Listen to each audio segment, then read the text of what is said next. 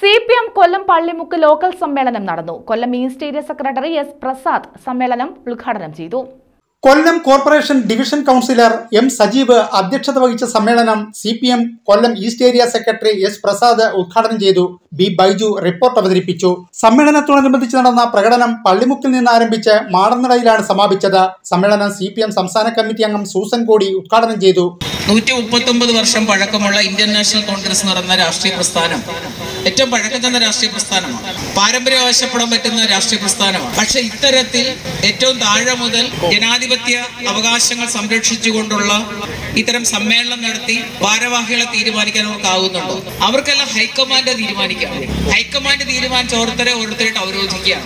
എന്നാൽ അതിൽ നിന്ന് വ്യത്യസ്തമായി സി പി എം ജില്ലാ സെക്രട്ടേറിയറ്റ് അംഗം എക്സേണസ്റ്റ് Sreekumariamma doctor Sunilkumar Muhammad Rafi S Naushad A Pushparajan S Sajeev M Saleem advocate K P Sajinath Gopan Adikkad തുടങ്ങിയവർ നേതൃത്വം നൽകി. News bureau Kottiyam.